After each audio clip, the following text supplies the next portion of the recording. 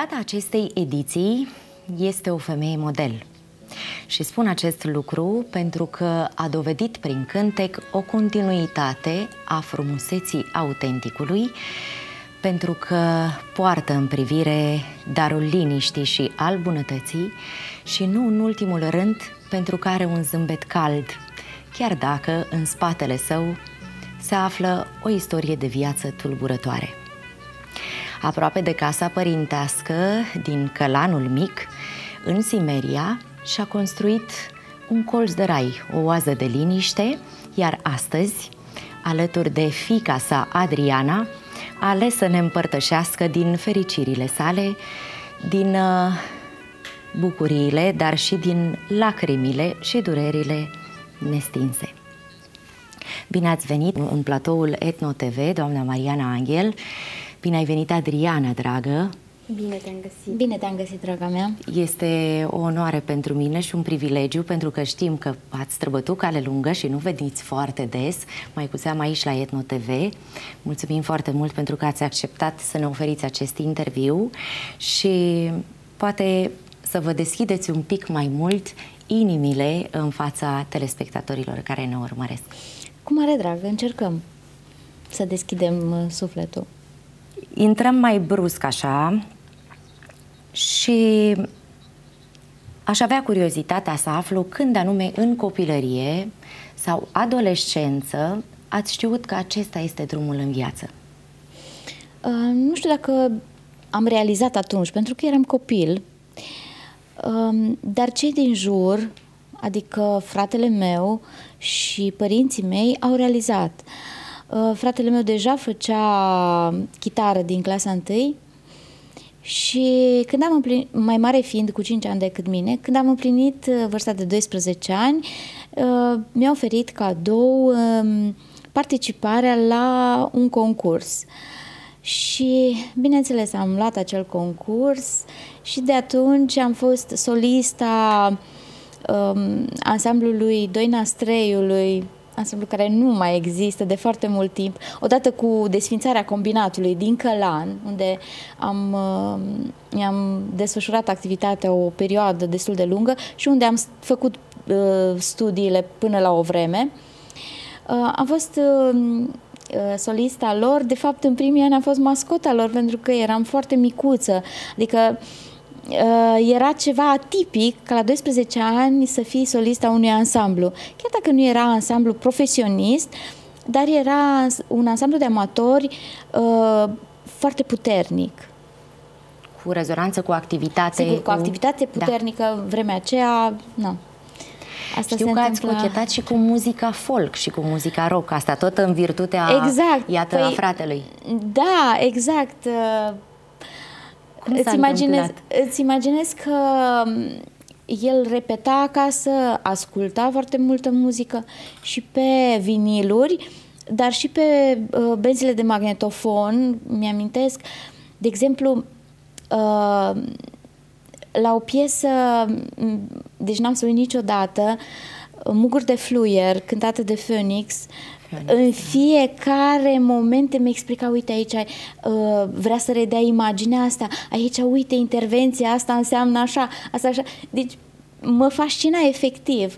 Și cântam împreună muzică folk multă vreme, cam până pe la 15 ani am cântat și muzică folk și muzică rock, fratele meu fiind basist, uh, cânta și cu chitară rece folk, dar avea și o formație Poseidon se numea, o formație de muzică rock înființată încă din vremea când a intrat la liceu. Atunci, imediat, și-a făcut uh, trupa și încă am cântat cu el uh, cam până pe la 15 ani.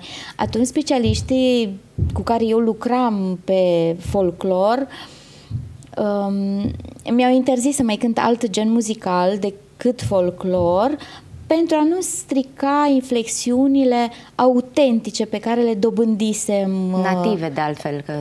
Și native, dar și învățate de la bătrâne. Felul acela de a cânta. Um, autentic și cu un ușor arhaism. Deci, dacă ați asculta, de exemplu, un cântec dintr-un ritual, eu și acum îl cânt exact cum îl cântau bătrânele.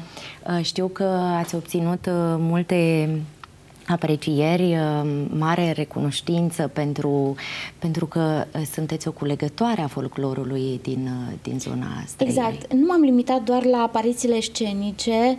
Um, am cules foarte mult folclor um, până de curând, adică anii trecuți încă am mai cules folclor înainte de pandemie. Și toate aceste bogății um, din patrimoniu imaterial o, să o să le folosesc de curând, uh, să le așez într-un format și să fie vizibile. Um, lucrez la acest proiect și sper din suflet uh, Doamne ajută să ne fie și spre folosul nostru. Da, da. Pentru că, știi, e o viață întreagă acumulezi, apoi oferi. Și e momentul toată viața am oferit folclor, dar vreau să ofer și altceva. Adică folclorul într-o manieră autentică, veche, exact cum era el odinioară. Și poate reactualizată, pentru că pe parcursul Sigur. timpului foarte multe se pierd. Am ajuns exact. la 15 ani, urmează o altă vârstă, 16 ani, atunci când uh, ați participat la emisiunea uh, uh, mult regretatei doamne Mărioara Murărescu și anume Tezaur Folcloric da, și la am... 17 ani chiar ați obținut floarea din grădină. Da, uh, știi, de fiecare dată când ajung aici în dreptul uh, sediului vostru, aici la Edno TV, Uh, mă trec fiorii pentru că la Clubul Uzinelor Republica, vis-a-vis de voi, Așa. am avut prima etapă la Floarea din Grădină, prezentată de Tudor Gheorghe. A fost atât de, de impresionant uh, momentul acela. Nu, nu se pot. Sunt momente în viață pe care nu le poți uita. Uh, chiar și acum, de exemplu, când aud genericul Sârba în căruță, taram, tarara, deci pentru mine uh, deci mă fior toată. Se vede, pentru că vi s-au da. și umezit ochii, se vede emoția. Da, există amintiri frumoase, există momente frumoase, așa, și am avut onoarea, exact cum ai spus, de a debuta în primele emisiuni Tezaur Folcloric.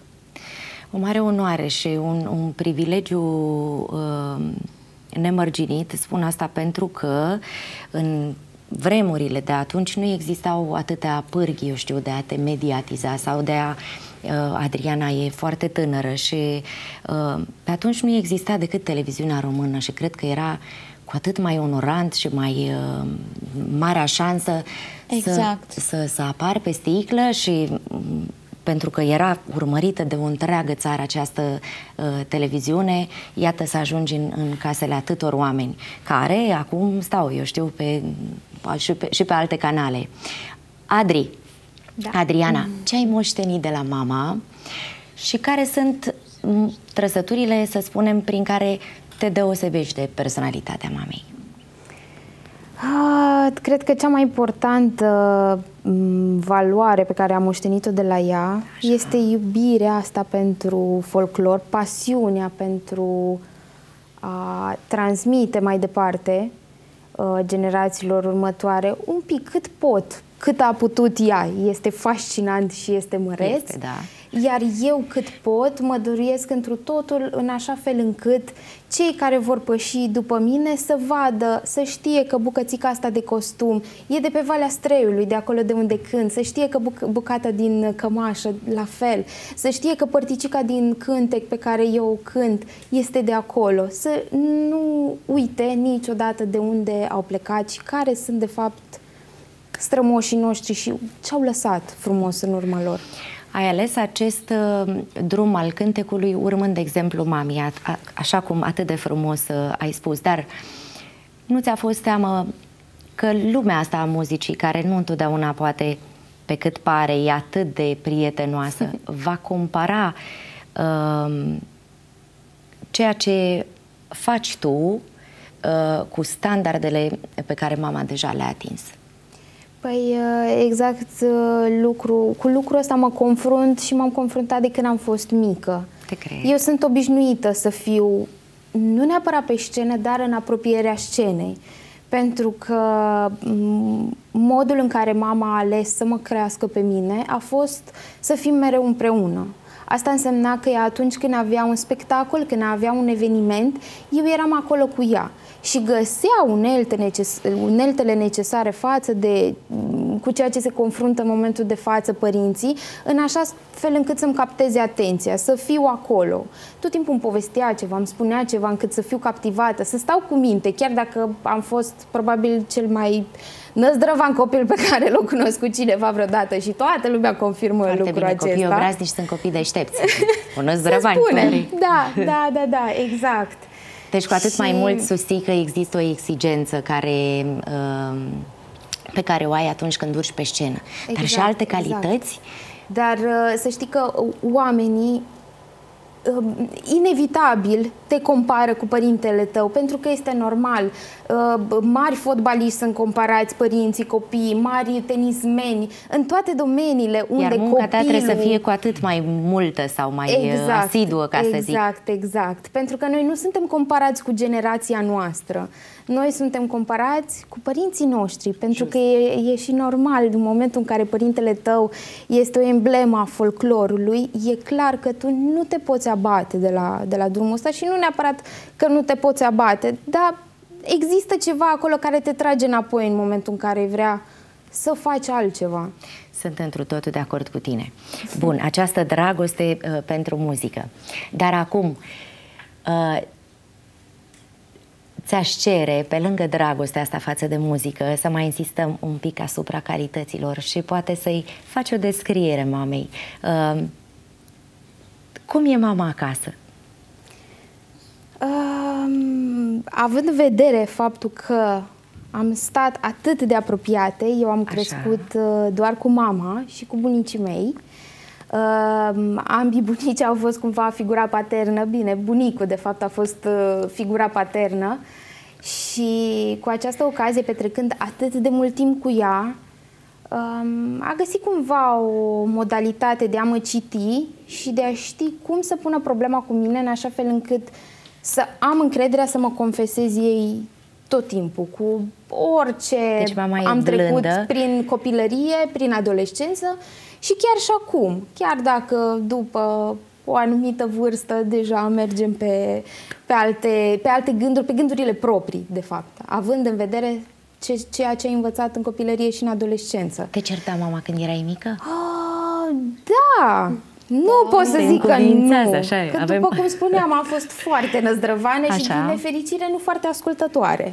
Păi da, într-o Dar... secundă era într-un copac, după aia era sus pe un gard, după aia era nu știu unde. Deci La sobă era... scoteam cenușa afară, o puneam toată pe mine, o băgam după aceea înapoi, spală copilul, spală pe jos, spală soba, spală... Deci am oferit activități celor din jurul meu. Foarte bine, timpul. greșeala e pozitivă, șlefuiește, în felul ăsta ai învățat și poate că cu atât mai mult uh, ai iubit-o pe mama și mai mult pentru toleranța ei, pentru iertare, pentru multă dragoste da. nesfârșită. Chiar dacă știi, într-o prima secundă mai strigam la ea și așa, după aceea ea știa că de fiecare dată când și-am stabilit lucrurile astea, să nu se supere dacă eu în prima secundă o cert, pentru că am rugat-o să mă înțeleagă și pe mine, că și eu am reacțiile mele. Uh, să știi că am lucrat, acum observ, eu fără să vreau, nativ, efectiv, am lucrat psihologic cu ea, nu știu, cred că am moștenit de la mama. Mama este uh, un om uh, simplu, așa se vede din exterior, dar este de o înțelepciune fantastică și am încercat uh, să preiau și mai departe am dat uh, ce am și învățat Adriani. de la mama. Da, și gândește-te că eu am luat din ambele părți, pentru că eu am luat și de la mama și am și luat și bunica. direct de la sursă de la bunica. Deci, deci... S-ar, s-ar înțelege că tu ești mult mai înțeleaptă decât noi două. da, așa și este Am avut oportunitate să... Pentru că, uite, în cele mai uh, grozave momente și bune și rele și așa, întotdeauna îi cer sfatul Adrianei uh, pentru că are o rațiune foarte bună. Adică mă pot baza pe ea, că ce zice e sfânt. Eu recunosc ceea ce spuneți inclusiv în relația mea cu Smaranda, pentru că deși e micuță și are 11 ani, tot timpul comunicăm și ne sfătuim uh, și la fel și eu îi cer uh, sfaturi Smarandei. Dar vă propun să facem un exercițiu de imaginație. Ok. Sunteți de acord? Da, cum să nu? Uh, vă întoarceți în timp. Aveți doar 21 de ani, ora la care se iau hotărârile curajoase. Ce ați lăsat în urmă și către ce vă îndreptați convinsă fiind că e cea mai bună alegere?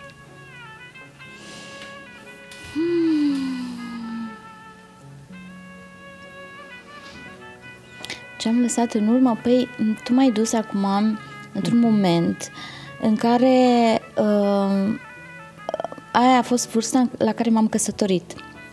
Exact. Și mm, n-am făcut o alegere prea bună, dar uh, a fost o conjunctură, efectiv, momentul acela. Pur și simplu a fost o conjunctură. Um, dar uh, odată ce am făcut pasul, nu mai puteam da înapoi. Știi, înainte de Revoluție, lucrurile erau diferite.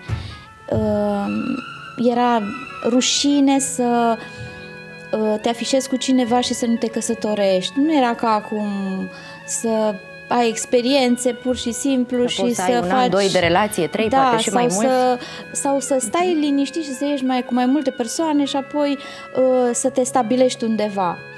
Uh, a fost prima persoană pe care am întâlnit-o, uh, am ieșit împreună, dar n-am avut niciun fel de experiență pentru că eu până la vârsta aia atât de tare m-am dedicat uh, uh, folclorului uh, carierei pe care deja o construisem, eram foarte cunoscută în momentul ăla, luasem floarea din grădină, eram ceva. Um, era înainte de Revoluție când uh, în cele două ore de emisie de televiziune eu eram cam la două, trei luni, apăream la televizor. Deci era ceva. Nu era puțin. Da. Totuși... Uh, uh, Am luat, am luat Da. decizia, am mers mai departe. Uh, Pe Adriana am avut-o la șase ani după căsătorie, iar după ce am născut-o pe ea, am divorțat. Așa am luat eu hotărârea. tatăl Adrianei fiind mai... Uh, Mai mare mai, decât mine. mai cu... mare decât dumneavoastră cu 15 ani. Da. Totuși părinții au fost de acord, mama a fost de acord. N-a fost nimeni de acord. N-a fost nimeni de acord și ați luat hotărârea asta cu inimă și din, din iubire, pentru că N-a ați fost, nim- convinsă. Dar n-a fost nimic ok. Sau v-ați Ați- simțit obligată cumva în virtutea vremurilor și a constrângerii N-a și a... fost nimic ok, dar uh, n-am avut curajul să spun da, am fost cu persoana, n- n-am avut educația uh, pentru așa ceva. Atunci așa era. Toți din generația mea știu. Așa era atunci. Uh, era j- rușinos, ajungeai uh, să fii luat în colimator ca ceva rău uh, dacă nu te căsătorești cu persoana cu care ai ieșit. Și a venit uh, Adriana, care a fost și este cel mai frumos cântec al dumneavoastră. Da, este cel mai frumos lucru pe care l-am făcut în viața asta. Și odată cu Adriana și alte decizii care v-au, uh, v-au adus un echilibru foarte mare în viață. Că ați zis, iată, un divorț, dar uh, Adriana a reprezentat, uh, bănuiesc, motivul pentru care ați divorțat, un divorț care n-a fost simplu, din câte știu și nu știu Da. dacă un partaj de șapte ani, un... Da, o nebunie totală, Stări, chin, trăiri uh, și- știi cum, uh, uitându-mă puțin în spate, îmi dau seama că cei mai frumoși ani ai mei uh, i-am mirosit, pur și simplu. Pentru că stând în tensiunea aia a proceselor atâta amar de ani, am uitat că exist, uh, n-am știut să mă valorizez, uh, m-am lăsat copleșită de durere și am rămas acolo mulți ani. Uh, cu greu uh, am... Uh, uh, aia a fost de fapt și perioada în care m-am apropiat de Dumnezeu.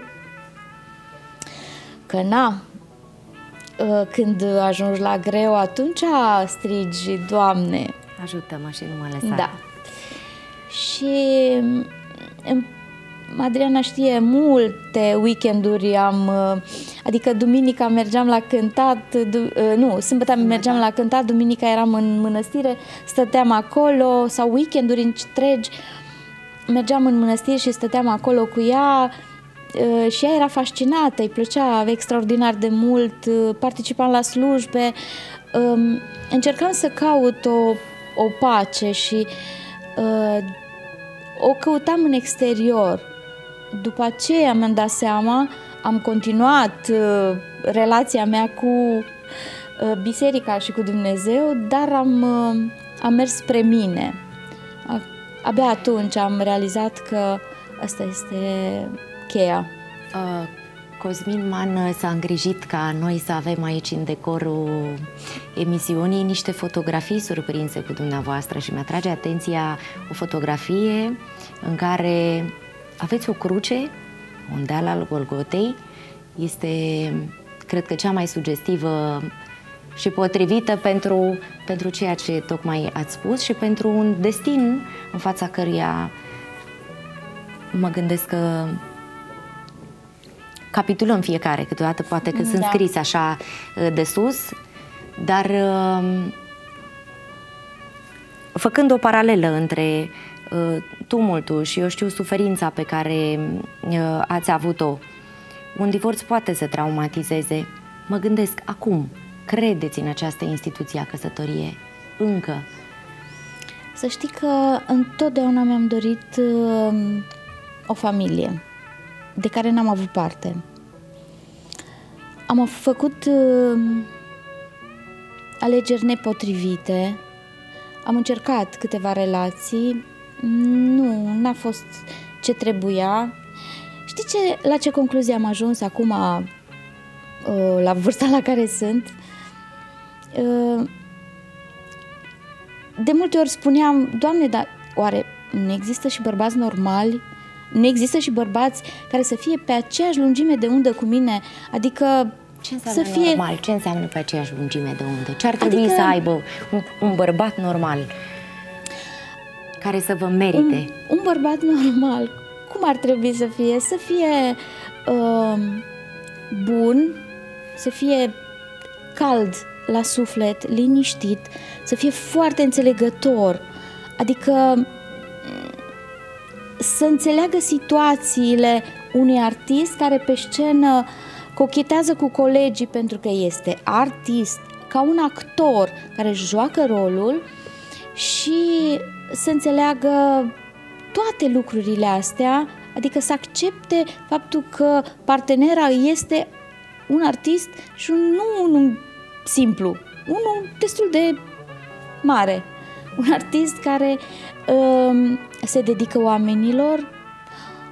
Deci, cam așa ar trebui să fie persoana. Înțeleg să nu fie gelos sau tot timpul să aibă permanent să aibă această Uh, conștiența omului de lângă el. Pentru că se întâmplă oamenii când stau mai mult timp împreună, cu cât petrec mai mult timp împreună, cu cât vorbesc mai mult, oamenii își permit mai mult.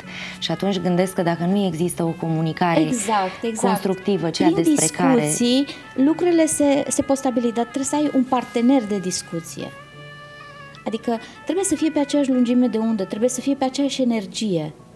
Să înțeleagă Încă ceva ce, da. Uh, ce am constatat, că bărbații se tem de notorietatea mea. Uh, pentru că ei confundă, nu-și dau seama că de fapt într-o relație uh, nu faci o relație cu artistul Mariana Angel. Tu intri într-o relație cu femeia Mariana, care plânge, râde, uh, trăiește sentimente ca orice om și are uh, exact în momentul în care a dez- și-a dat costumul jos și nu mai e pe scenă, este un om simplu care are aceleași bucurii și tristeți ca orice pământean. Considerați că există prea târziu în iubire? Sau rămâneți optimist, așa luminoasă, cum vă știu din totdeauna, încă de când eram și eu mică? Uh, ajungând la o vârstă, îți dai seama că parcă uh, ai fost optimist atâția ani, atâția ani, ai sperat și îți dai seama că nu, poate ți-a trecut timpul. ziceți? Vă e teamă de singurătate? Nu știu, mă A, la e... Adriana, mă, mă văd cât e de frumoasă și sunt convinsă întâmplă? că și inima ei va tresălta da. la fiorul dragostei. Și... E, e foarte greu uh, fiecare trebuie să-și trăiască viața. Adică ea trebuie să-și trăiască viața ei, eu pe a mea. Uh, ea nu poate fi partenerul meu de uh, distracție și de povești tot timpul. Ea trebuie să se împartă între mine și prietenul ei. Uh, eu mă bucur tare mult că are o relație frumoasă și uh, cum să zic, ea rămâne cumva prinsă între mine pentru că mă, mă știe singură. Na, cam asta ar fi. nu e situația chiar atât de dramatică. Nu te spune. Da. În, într-un fel sau altul, nu e atât de dramatic, pentru că, după cum spuneam, așa am copilărit, așa am avut adolescența, iar acum fac lucrurile exact așa cum cred eu de cuvință și atâta timp cât pot fi alături de mama mea, cât pot fi alături de bunicii mei, cât pot fi alături de familia mea, vreau să o fac și o fac cu toată duruirea din lume, fără niciun fel de resentiment și absolut nimic. Eu... Am și norocul de mm, jobul pe care l-am mă ajută în Ce situația asta. Uh, dar și hobby-ul și jobul pe care l-am de fapt, adică muzica, așa. mă ajută în situația asta pentru că pot fi în mai multe locuri în același timp, cam așa ceva. Asta e minunat și muzica cumva vă unește, ceea ce spuneai că de acolo ai plecat, exact, de acolo ai pornit, exact. așa ai pășit. Uh, și după modelul bunicilor care au fost aproape de mama și aproape de tine, exact. uh, înțeleg că și tu, dar uh, vezi tu la un moment dat uh, vine viața și ne și ne pune exact așa cum a zis mama, pe, pe drumuri separate. E adevărat că ne auzim, că ne vizităm atât cât se poate, dar uh, părinții ne rămân uh, pe veci în suflet, cum și noi rămânem și îi lăsăm cu dorul nostru, uh, dar plecăm. Vreau să te întreb, în speranța de a nu te mm, cum să zic eu, mi-aș dori să pășesc așa cu să nu intru cu vreun bocanc cu pe vârfuri, da. așa, știi? Dar aș vrea să te întreb, Adri, cât de greu îi e unei fetițe să nu învețe de la tatăl mersul pe bicicletă, de la de la tatăl ei, să, nu știu, poate să, să nu fie așteptată în fața școlii de cel care este părinte. Păi, dacă ar fi să o iau pe etape, în copilărie, în adolescență, nu am simțit niciodată vrând nevrând, bunicul meu a fost atât de prezent în viața, viața mea, încât n-am suferit, am jucat șah cu el, m-a învățat uh, poezii, m-a învățat să merg cu bicicleta, m-a învățat în grădină ce trebuie să fac cu animalele, adică a fost acolo pentru mine și poate că nu o să pot să-i mulțumesc niciodată pentru asta. Însă, odată cu trecerea timpului și ajungând la maturitate, am început să resimt anumite efecte. Uh, frica de abandon, poate am resimțit-o cel mai tare, pentru că nu cred că poate să fie ceva mai groaznic în lumea asta, în afara faptului ca un părinte să nu te vrea și să nu fie acolo. Bine. Doar din voința lui, nu din altceva. Se întâmplă ca Dumnezeu să ne schițeze la fiecare drumul și multe din situațiile prin care trecem, uh, să știi că și eu am crescut fără tată și te înțeleg foarte bine, de asta am și zis că mi-aș dori să pășesc așa, să merg pe vârful și să nu-ți ating uh, din, din durerile pe care fiecare le avem în suflet și le tăinuim, dar uh, cu cât, de an, cu, cu cât mai nevoios e drumul ăsta parcurs în viață, pentru că asta ziceam, nu ține de noi câteodată. Deciziile le, le iau alții, responsabili poate de educația și de parcursul nostru, de dezvoltarea noastră, însă cu cât e mai nevoios drumul ăsta poate, cu atât mai satisfăcător e la final. Și cu atât mai mare, cred, recunoștință se găsește în mulțumirea uh, față de Dumnezeu. ai spus că bunicul a fost tot timpul lângă tine, dar un momențel, eu știu, în care să fi zis, mă, dacă ar, ar fi fost tata lângă mine în momentul ăsta, adică ai avea reproșuri sau a lipsit atât de mult încât nici măcar nu ai avea ce să... Uh, nu știu, nu, nu cred că am un uh, răspuns potrivit pentru că ține prea mult de firea ta ca om și de modul în care ai fost construit. Așa, dacă ar fi să gândesc la rece, n-am simțit niciodată lipsa. Dacă ar fi să mă gândesc sentimental vorbind, e normal că simți lipsa unui părinte. N-ai cum și probabil că toți uh, telespectatorii, dar și tu și mm, toată lumea care a trecut printr-un eveniment de genul ăsta înțelege, dar în același timp mă gândesc la alte persoane care n-au avut niciun părinte lângă ei. De asta încerc să mă bucur gândindu-mă că totuși am fost norocoasă și în același timp gândindu-mă că poate învățam ceva bine de la el sau poate nu. Sau poate că așa ți-e mai spre folos. Chiar dacă uh, familia lui este una minunată, chiar dacă el poate a fost un om bun, n-am de unde să știu pentru că nici Când n-am avut... ultima oară, uh, Adriana? Ultima oară, din nefericire, l-am văzut la mormântarea lui și asta s-a întâmplat Să acum ierte, uh, câțiva ani. Și, într-un fel sau altul, a existat un regret că n-am apucat să împărtășesc cu el multe lucruri și, într-un fel sau altul, a existat dorința asta în mine de a discuta anumite lucruri care n-au fost spuse. Uite, Dar, în același timp, mă gândesc că Dumnezeu așa a vrut și mm, eu mă resemnez destul de, destul de repede. Iartă-mă că te-am...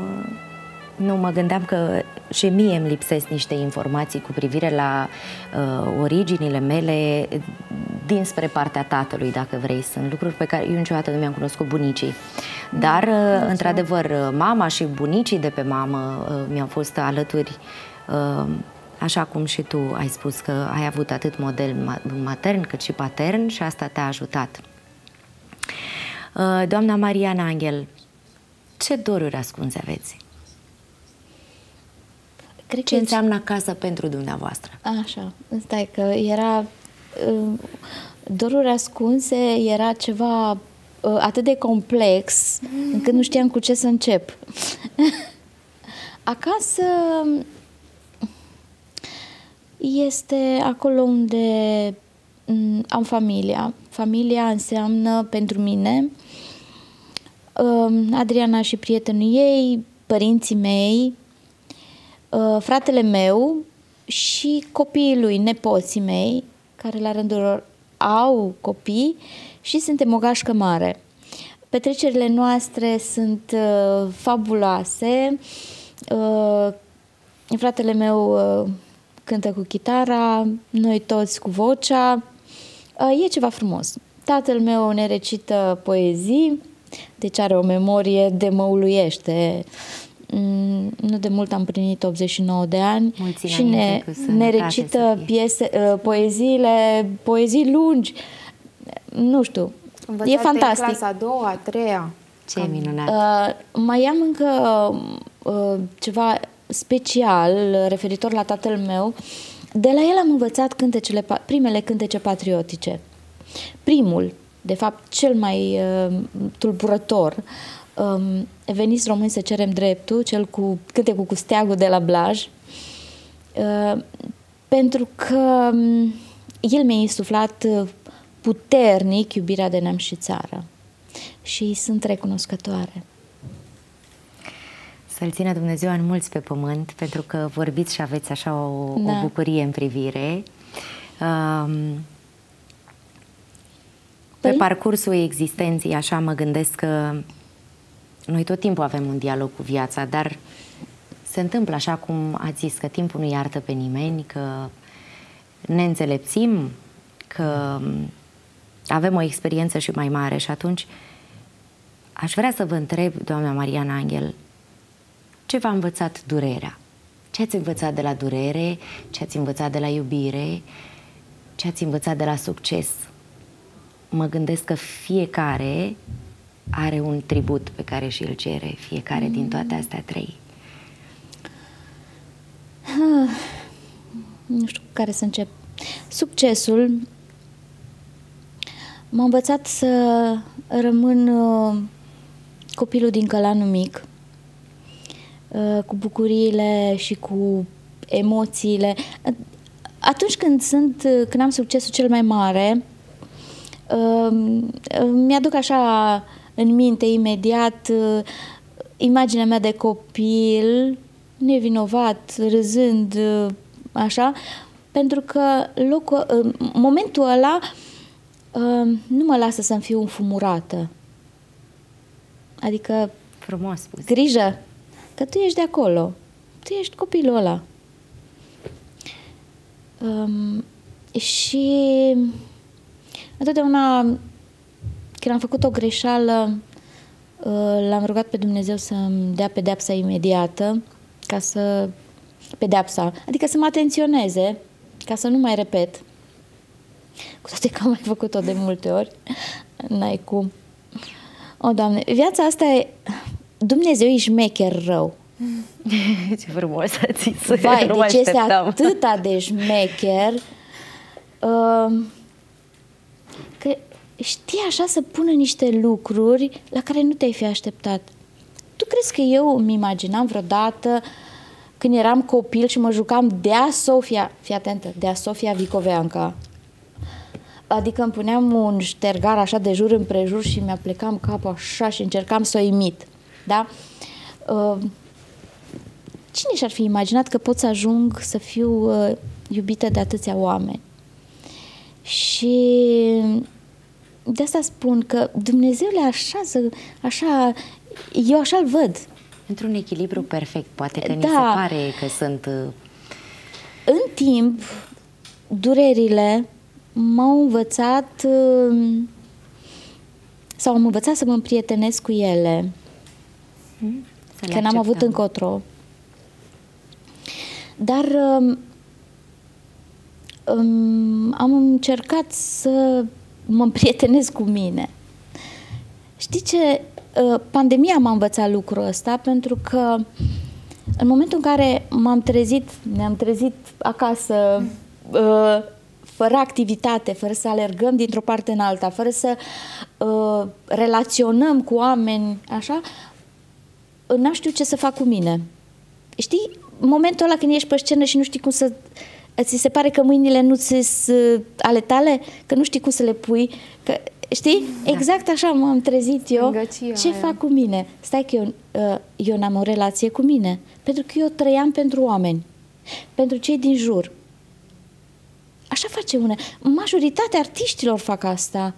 Bine. Atât de mult sunt capacitați de uh, de ceea ce înseamnă scena, dăruirea oamenii. Să trăiești în... din bucuriile făcute celorlalți și atunci și asta poate fi un mod existențial. Și, și atunci uiți că uh, tu, ca om, existi. Tu ajungi să, să, să fii numai artist și om uiți să fii.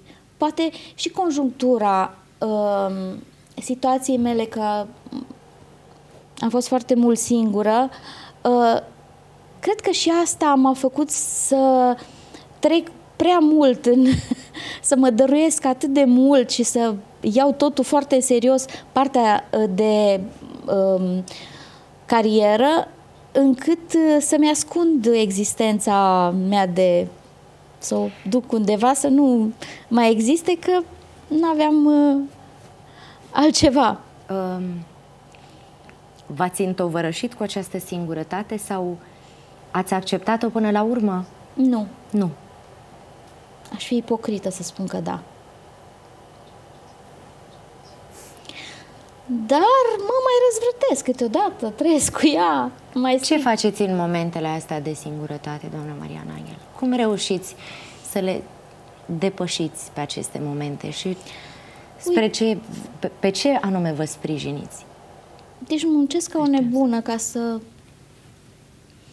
ca să-mi anulez uh, tocmai ce spuneam, știi? Aleargă gândul câteodată, nu-l poți prinde, nici, normal nici, că aleargă, nici nu e bine să lucrezi da, cu normal, el, da? normal. Încerc să-mi petrec timp cu familia, încerc să fac, să ofer, să... De exemplu, ziua de vineri pentru mine Așa. uh, este dedicată părinților mei, tatălui meu, în mod special. Avem un ritual. Îl iau de acasă, îl duc la cumpărături, primul lucru își cumpără ziarele, um, ei încă sunt de modă veche, se uită în programul TV, adică își cumpără două, un ziar de sport și unul care are programul TV. Uh, îl duc la cumpărături, deci eu stau în mașină sau merg cu el, dar le ofer și uneori vine și mama, ea nu e așa mare fan de cumpărături, dar taică meu, da. Și aia este prima parte a zilei, orice ar fi, e pentru ei. Și fac lucrul ăsta ca să le să-i uh, ajut să se simtă uh, funcționali, tineri, bine. Adică când ai o activitate, când ești, când faci ceva, te simți confortabil, nu? Când ai activitate, că în activitate, ceea ce spuneați în pandemie, te copleșește da, uneori. Uh, deci asta ofer lor. Apoi, toată vara am lucrat uh, ore de canto în particular. N-am avut vacanța anul ăsta, asta e, o fi anul viitor. Am încercat să-mi găsesc activități, pentru că și concertele au fost mai puțin, ce, 10% față de cât... Mi-am uh... ultima oară v-am văzut la Cântecele Munților, acolo la A, ah, Sibiu, da. la doamna Silvia Macrea. Uh, e drept că ați da. fost în multe alte locuri. Acolo cumva am fost și eu și îi mulțumesc Doamnei pentru, pentru această bucurie. Uh, ce simțiți atunci când, când sunteți cu Adriana pe scenă? Că sunteți și în, în, în viața de zi cu zi, dar pe scenă mai cu seamă. Să știi că pe scenă ne-am uh, armonizat așa de bine și ne sincronizăm așa de fain. Uh, e și exercițiu. Na, am cântat foarte câțiva ani buni, buni. Da. Da, că ne-au și botezat uh, angheluțele. e un moment în care ne contopim oarecum, știi? E ca și cum, uh, nu exagerez, dar de multe ori e, e ca sentimentul ăla când ai copilul în, uh, în burtă, știi? E un sentiment foarte unic, absolut unic. Și așa, pentru că noi cântăm de mână și um, momentul ăla e fascinant pentru mine mă simt foarte bine. Dar și pentru public. Pentru că convinsă. tot timpul oamenii ne spun, dacă ne văd undeva singure, acum mamei nu chiar atât de mult, dar mie, unde e mama? De ce nu cânti cu mama? Că aveați momentul vostru, angheluțele, să vă vedem deci, pe amândouă pe așa scenă. s-au obișnuit să vă vadă da. împreună. Da, da, ce da. pierdem și ce câștigăm de-a lungul trecerii anilor? Um, câștigăm um, o înțelegere mai bună a lucrurilor, câștigăm uh, o ușoară pace, știi, ca se mai la, lasă așa, știi, o, o stare de bine pe suflet, în timp. O resemnare. Timpul e prieten sau dușman pentru Mariana Angel? Um, nu mi-a fost niciodată dușman, uh, pentru că fiecare moment uh, al vieții este frumos în felul lui. Și nu trebuie niciodată, chiar niciodată nu trebuie să um, să avem uh, probleme cu riduri, cu trecerea timpului, cu da, am 55 de ani, asta sunt. Sunteți deosebit de frumoasă. Mi-ați răspuns acum la o întrebare pe care o aveam pregătită cu, uh, eu știu, teama asta de trecerea timpului, de rid, de uh, înțelepțire sau toleranța asta, resemnarea păi, care vine odată Iubita cu... mea, cum aș arăta eu, uh, adică oamenii toți știu ce vârstă am și să-mi tunez toată fața, să-mi întind ridurile, uh, că nu mai dă una cu alta. Lasă așa, adică e frumos. E frumos așa. E chiar frumos. Dar probabil că necesită și o anumită Uh, cum să zic eu, o anumită gândire, o anumită profunzime a, a gândirii ca să poți să rămâi așa autentic e până la capăt. Da, e Pentru că tendința asta e odată cu valul să încerci să faci Acum, câte ceva. Acum, în momentul ăsta, sunt, știi că la mașini cu variante de Acum sunt în varianta mai plinuță. Asta e, A, da. n-am ce să fac. Uh, poate cândva, sper cât mai repede, să găsești o variantă în care să uh, nu o să ajung niciodată fotomodel, n-am Important fost niciodată... să ne simțim bine Așa, noi cu noi Poate că voi veni și într-o variantă puțin mai uh, obișnuită. Nu, asta e. Asta sunt. Vă Varianta asta. Da, vă întrebasem uh, ce câștigăm și ce pierdem odată cu trecerea timpului. Așa. Dar, dacă cineva v-ar da o cutie cu tot ce ați pierdut în viață și ați avea șansa să puteți lua ceva înapoi, ce ați lua? Știi, um, oarecum e jenă, știi că e Adriana aici. Uh, bineînțeles. M-am gândit că ar putea să limiteze un pic dialogul Așa, pe care îl avem. Dar noi suntem obișnuite să discutăm și... absolut orice. Nu că telespectatorii nu m-ar vedea, știi? Adică mie mi-e jenă de ce ești lângă mine. Uh, nu mă gândesc că emisiunea asta va fi urmărită de uh, un public atât de mare. Ba să știți. Așa? Deci nu iau în considerare asta ca să pot să răspund. Bine atunci. Um, îmi pare rău doar de momentele în care nu m-am bucurat de viață, să zic, să mă duc în concedii cu un partener, să fac lucruri mai multe. A fost așa, am avut doar frânturi mici de cursul anilor. Asta e.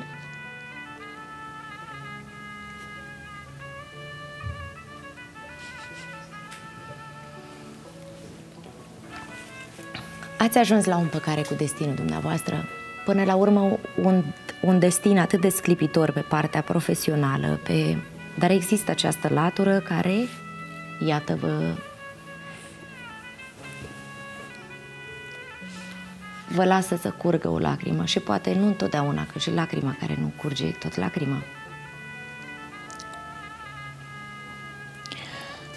Uh, da, din moment ce funcționez, înseamnă că m-am împăcat cu destinul. Um, încerc să mă mint de multe ori, o, Doamne, vai, hai să um, schimbăm puțin registrul să vă spun o glumă. Um, am niște piese, bine, nu toate sunt făcute din viața mea, da, folclorul e divers, uh, multe piese sunt făcute uh, inspirate de o familie, inspirate de un moment, inspirate de ceva. Și am un cântec um, uh, de dragoste foarte fain în care spun că uh, bădița cu mine și uh, pu, și după ce termin cântecul de cântat spun Doamne, ce mincinoasă sunt! Cum spunea Ghiote că Uh, poezia este mai adevărată decât adevărul. Poate că și noi, cei care cântăm, de multe ori printr-o tematică, uh, trăim în așa fel încât uh, ajunge să ne fie terapeutic. Aș vrea să Aș vrea să vă întreb, care este cântecul din repertoriul dumneavoastră pe care îl simțiți așa ca, ca identificându-vă cu, cu el, că, cu, cu mesajul pe care îl are? Uh, nu pot să spun, uh, îți răspund la prima parte a întrebării, terapeutic, da? Da. O, Doamne! Deci, din momentul în care am început să cânt pricezne, deci din momentul ăla, uh, dacă eu cânt o priceaznă, în momentul următor, parcă mi s-au echilibrat tot corpul. Uh, este cea mai frumoasă experiență din cariera mea. Uh, am avut 10 ani turneu cu muzică religioasă. Am avut um, bucuria de a împărtăși iubirea față de Dumnezeu. Este o altă latură. Uh, căutările acelea și suferința pe care eu am primit-o de la Dumnezeu n-a fost în zadar, pentru că uh, m-a dus spre, spre drumul ăsta. Știu că mergeți foarte, ați, ați fost de multe ori la, la Mormântul Sfânt. Am fost de câteva ori și uh, imaginea aceea pe care tu o vezi acolo cu da. uh, crucea este făcută chiar pe drumul Golgotei. Uh, Doamne, ce experiențe fascinante! Am fost și împreună în noiembrie 2019. Am fost împreună în pelerinaj în Israel. Doamne, de mână am trăit acolo niște momente ce ai unice. Simțit, Carusel de sentimente, efectiv. Am fost de la agonie la extaz, dintr-un moment în altul. Și nu era vorba de bipolaritate, era pur și simplu felul în care te simți în momentul când ajungi acolo și, nu știu, ai niște trăiri foarte uh, bizare, într-un fel sau altul. Îți, îți vine să plângi, eu există o descărcare, uh, te simți liniștit după ce pleci de acolo sau... Exact, exact. De, de asta zic, treci de la o stare la alta, efectiv de la un minut la altul. E impresionant și când m-am întors acasă încercam să conving pe toată lumea trebuie să mergeți acolo, trebuie să aveți experiența asta, să vedeți ce nu înseamnă. Nu am fost da. încă, dar o să merg și eu dacă mi-ajută Dumnezeu. Te ajuta Dumnezeu să ajungi, să pentru că, da, e fascinant. Am, am colindat toată țara, am, am fost aici aproape toată țara, nu chiar toată țara, dar uh, noi ne bucurăm de multe mănăstiri, de multe locuri fascinante. Uh, avem și noi locuri, oh, chiar noi în județul Hunedoara avem uh, pe Părintele Arsenie Boca care ne uh, e așa ca un străjer acolo și trimite um, tot ce poate fi mai, mai curat, așa parcă îmbrățișează toată țara de acolo, de la Prislop și toate Toată țara e o binecuvântare. Acolo am ajuns, dar dacă ar fi să recomandăm telespectatorilor niște locuri din țară de la noi, pentru că sunt și vremurile care restricționează, poate e mai greu să ajungem mai departe, dar în țară, unde ați simțit că v-ați întâlnit cu Dumnezeu? Odată la Părintele Arsenie Boca. Da, pentru că eu mergeam acolo uh, pu, cu mulți ani înainte de a exista oamenii nu știau foarte mult. Și eu mergeam acolo și erau două băncuțe și stăteam acolo ori în șir. Așa, deci să recomandăm. Uh,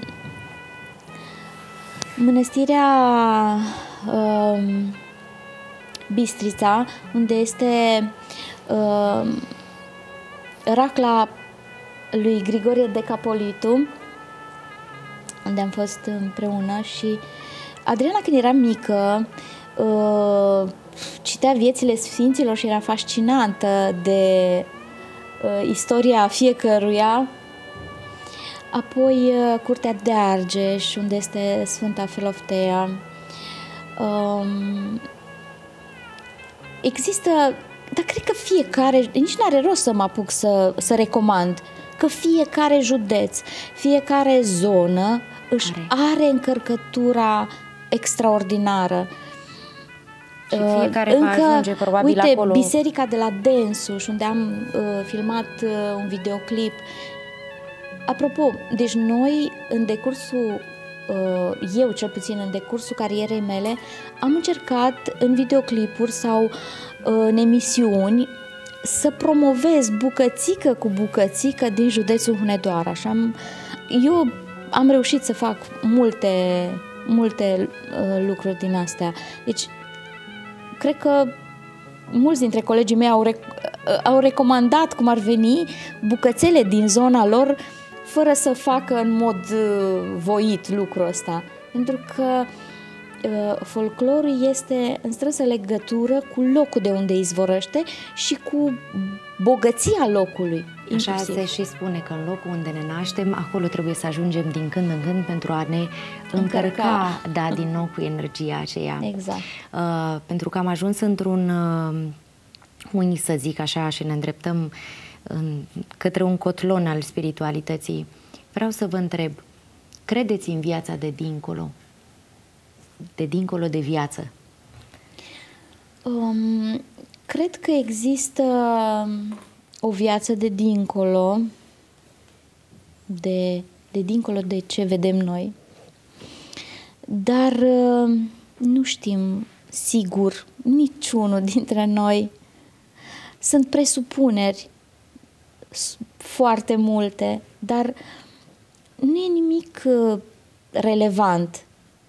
dar um, credem în uh, existența lui Dumnezeu, cred foarte mult în minunile Maicii Domnului, cred uh, în Isus și în puterea magistrală imensă și cam atât. Se spune că odată ce ne uh, detașăm de această carcasă materială, ne transformăm, uh, ne transformăm în lumină. Este un alt nivel de evoluție și atunci uh, așa se zice că ne întâlnim cu toți ceilalți dragi ai noștri, că spiritul este veșnic, legat de, de străbunici, de bunicii pe care i-ați avut v-a adus viața într-un moment în care să vă gândiți că și ceilalți dinaintea noastră, cu siguranță că au avut propria evoluție și trăiri și sacrificii și uh, drumul lor parcurs, dar că vă veți reîntâlni la un moment dat cu toții. Um, nu știu dacă o să ne reîntâlnim, dar știu sigur că um, de acolo de unde sunt uh, ei uh, ne trimit uh, gânduri bune, cum și noi, prin lumânările aprinse și cu rugăciunile pe care le facem, încercăm să-i uh, uh, susținem, ca așa se spune. Că... Dacă am avea așa o cheiță atât de prețioasă a timpului și am putea răsuci uh, și am avea de ales între o familie, un soț și un copil, și de cealaltă parte gloria profesională. Ce ar alege Mariana Angel? Mm. Oh, mi-ai pus, cred că e o întrebare foarte, foarte grea, pentru că privind de a, din poziția în care mă aflu acum și misiunea ce mi-a fost încredințată de a cânta pentru oameni, eu aș vrea să, mi-aș dori să fie un mix așa între cele două, pentru că n-aș putea să trăiesc fără muzică, dar în același timp dorința de a avea o familie uh, a rămas în continuare. Uh, cred că și din cauza părinților pe care i-am văzut atât de frumoși toată viața, uh, am trăit într-o armonie perfectă n-am, n-am auzit uh, certuri. Pe tatăl meu l-am văzut beat niciodată. Uh, am trăit într-o familie model, pot să spun. Și poate dacă erau și ei puțin mai altfel, poate n-aș fi fost atât de urmărită de imaginea lor perfectă. Asta e. Dar aș alege, fu, am spus, um, cumva un mix între cele două. Așa e viața, trebuie să alegem, câteodată trebuie să te frângi. Uh, da. Pe toate nu poți să le ai. Dar tot șmecherul ăsta de Dumnezeu a ales el cum a vrut. așa, și-a ales uh, cariera pentru că așa a vrut să dăruiesc. E, e balanță întotdeauna. Și, nu, dacă e balanță, atunci poate se schimbă talerele cumva. Dar tot acolo rămân în echilibru. Exact. Se ia dintr-o exact. parte, se pune da, dincolo ca să Tot echilibru, echilibru, da.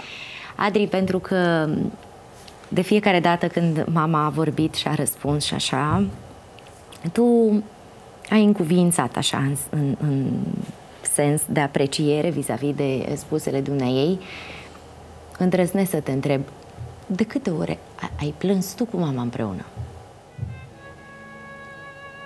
Având în vedere faptul că am plâns aici amândouă, cred că nu de destule ori. Înțeleg că ați avut momentele voastre În care mai care... plâns și separat, cum ar veni. Da.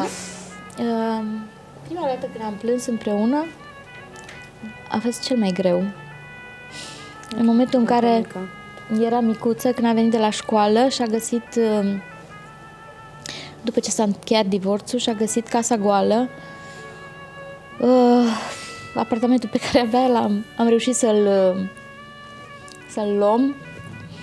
uh, și să-l primești înapoi. Să-l primești înapoi cumpărat de părinți, știi? Deci foarte ciudat. În fine.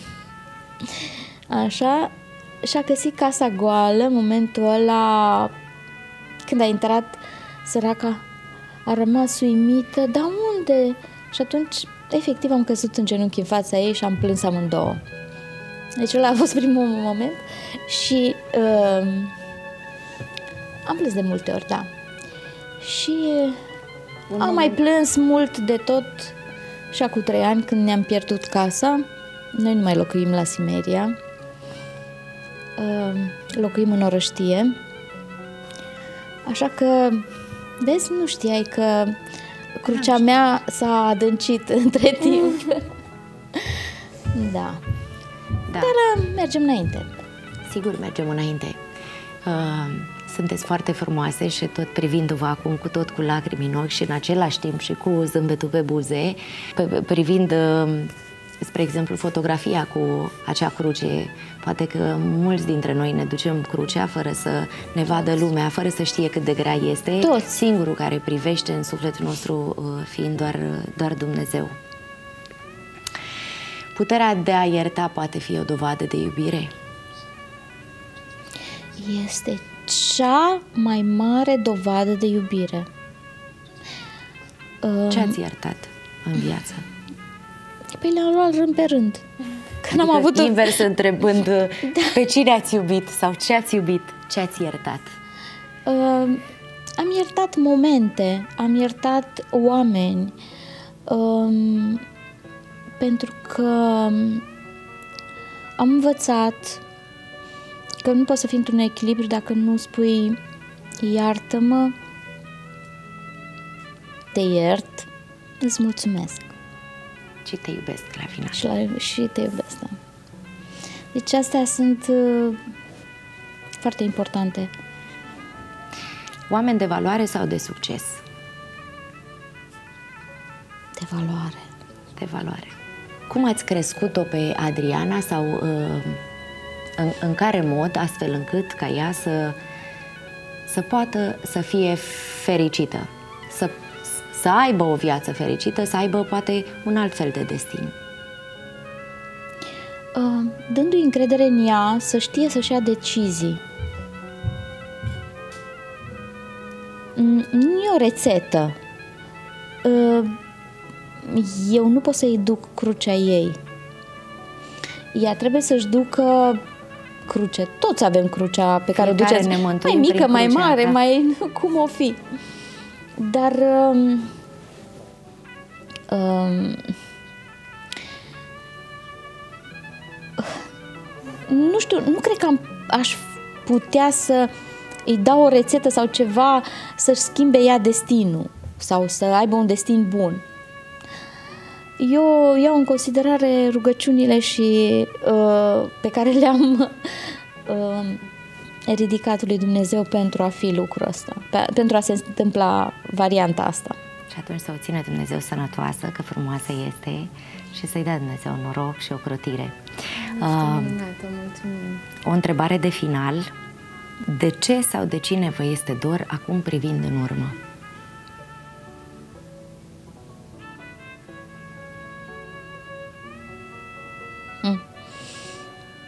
Um,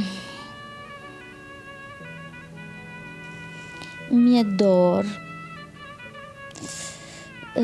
de Mariana aia care a luat floarea din grădină și care n-a avut uh, puterea să ia niște decizii mai bune cu uh, femeia Mariana.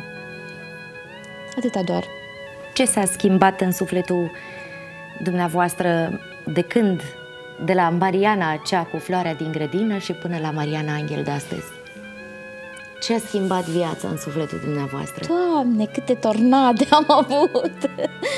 Cum erați înainte și cum sunteți acum? Și acum, fiind altfel, e un câștig? Acum sau... încerc să, să um, îmi găsesc în interior bucuria aia de atunci, încerc să încerc să mă repar, că au fost prea multe, știi? uh, sus, jos, sus, jos, te obosești. Dar, um, ce să zic, eu zic că momentul ăsta este un moment uh, în care chiar sunt bine din așa, eu cu mine. Am reușit să mă prietenesc cu mine și să încerc să să am curaj să, să fiu ce, cine sunt. Curajoasă. Dar sunteți o da, curajoasă. Da, toată viața am fost. Să știi că sunt atât de multe femei care mă admiră pentru uh, curajul cu care am reușit să trec prin viață. Dar nu mi al meu curajul ăsta, e, uh, cum să zic, puterea pe care ți-o dă Dumnezeu Uh, să treci peste momente. Că ne conectăm la, la generatorul ăsta al lui Dumnezeu și al iubirii nemărginite. Doamne, deci într-o dar fracțiune... voastră curajul, pentru că și aici e liberul arbitru, uh, decizi. Da, dar... Faci sau nu faci. Dacă n-ai picătura aia dată de acolo, degeaba. Și pentru că, așa cum uh, bine și frumos a spus Adri la început, că lumea s-a obișnuit să fiți împreună și dacă cineva, cele două angheluțe, dacă vă vede, vă întreabă unde e Adriana, dacă vede pe Adriana, unde e mama și invers. Îmi doresc ca în uh, finalul acestei întâlniri de taină să vă invit să, să ne cântați, să ne cântați da, împreună, să vă mulțumesc încă o dată pentru că ați acceptat acest, să, să ne oferiți acest interviu, uh, dorindu-vă amândurora sănătate și bucuriile cele de folos să, să vă zâmbească inimile. Era o vorbă pe care o avea bunica și zicea, Doamne ajută și inimă bună, mama, așadar inimă bună amândurora. vă dorim și să ne revedem cu bine, să ne țină Dumnezeu sănătoși și să, să auzim numai de bine. Mulțumesc încă o dată, doamna Mariana Angel, mulțumesc, Adriana. Dragi iubiți telespectatori, sper că s-a transmis și la dumneavoastră aceeași emoție pe care am simțit-o și eu. Uh, în finalul emisiunii vă lăsăm în compania minunatelor Mariana Angel alături de minunata fică Adriana.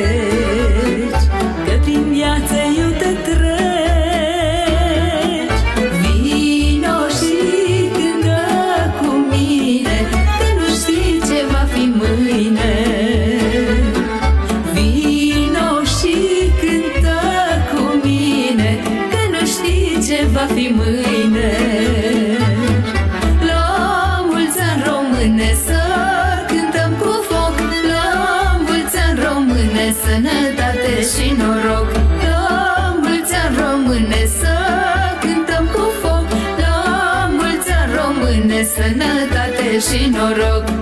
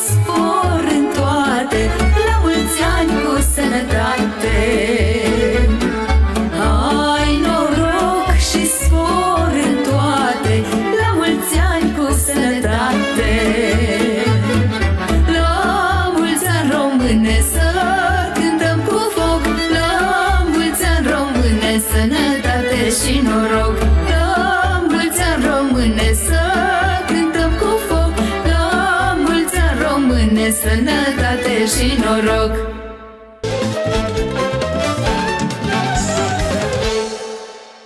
Ce îi datorați astăzi Mihaelei, soției dumneavoastră? Sau ce simțiți că n-ați fi reușit să faceți fără sprijinul dumneai?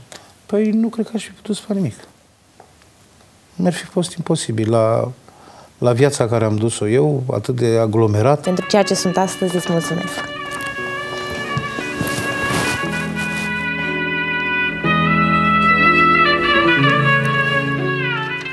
De la 14 ani când am plecat cu tata, am început să văd altfel lucrurile, că eu munceam cot la cot cu el. Eu eram tânăr, dar el, îți dai seama, și am zis, bă, în momentul ăla eu trebuie să iau foarte serios lucrul ăsta, că eu nu pot să-l țin pe ăsta așa, că să moare naiba la atâta muncă, știi? Nu știu, când am scos primul cuvânt, eu nu-i spuneam lui tata. Îi spuneam unchiului meu. De lui ce? îi spuneam nenea, pentru că eu nu știam. Nu, nu mă El era atât eram... de mult plecat de acasă încât eu nu știam că el e tata. Chiar și atunci când sângele nu va mai curge prin vene, să nu uiți că Marian a fost tatăl tău. Nu am fost un înger, dar am încercat. Am încercat să fiu om. Încearcă și tu.